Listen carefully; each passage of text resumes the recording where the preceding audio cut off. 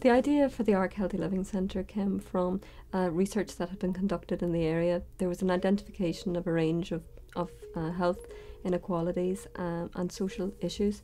We recognise that health is not just the absence of disease, it's much broader than that.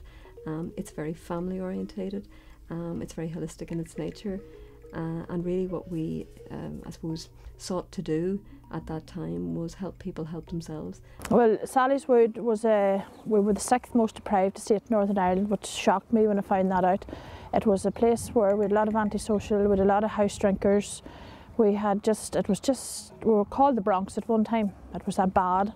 Uh, houses were bad shape, bad need of being done up. There was no fencing, there was no individual gardens.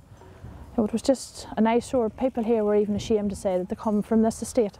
This site behind me was just derelict houses that people had left. The few had been burned. They were just all fenced off. Nobody was living in them because it was just a row of derelict houses that we were mad to get done up or get something done with.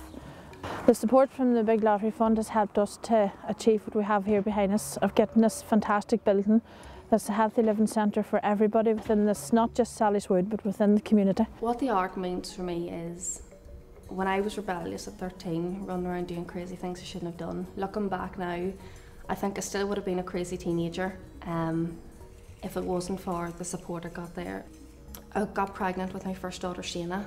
There was loads of support down in the ARC because we got to do several different programmes uh, while I was pregnant on the antenatal courses. I think the ARC um, and the childcare facilities mean that people um, can go out and work and there is affordable childcare with nice people to look after children and you know anything that you need support on from the biggest of things to the smallest of things the ARC's there and no matter what it is just give them a call and someone will be able to help you out with whatever you're dealing with but people can continue in our services. We have the after schools provision and we have the EDGE programme that deals with primary school children. During the summer here we run uh, eight week diversionary activity programmes for children from the age of five uh, right through to 18. The, the need for the Solace project was identified through research in the area locally.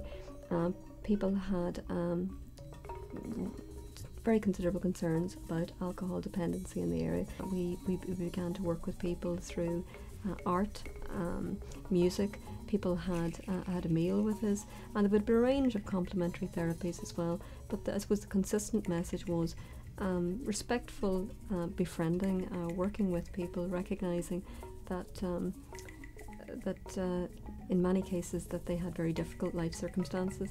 I'm I'm not completely dry. I'm a recovering alcoholic, but I'm not totally dry, and I still get the, the urges and the, and the cravings. And when I do, I just come into solace and I chat to everybody else and the cravings go away because everybody's in one boat and they know what I'm talking about. And that's how I got involved with Solace Project. Well, in, in my opinion, you're talking about lives. The big lottery fund is funding places like Solace.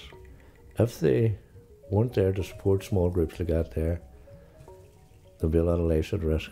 The big lottery fund is actually saving lives for me personally, it's been a wonderful journey. I have really enjoyed every single day that I've been part of this project, and I hope that that, that will, will continue.